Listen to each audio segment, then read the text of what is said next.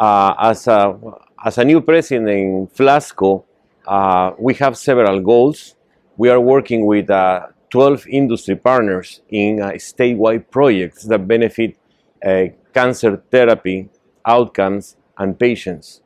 Uh, for example, uh, one of the projects I love the most because I'm a lung cancer doctor is lung cancer screening. Statewide, we only screen 5% of all the, lung all the patients that are in risk of having lung cancer. Uh, it's our goal to increase uh, significantly that proportion. So that's one of the important projects that we have. And we have other projects regarding uh, access to drugs, payment of drugs, uh, healthcare outcomes. Um, most of these patients, uh, and most of these projects involve uh, patient care and quality care.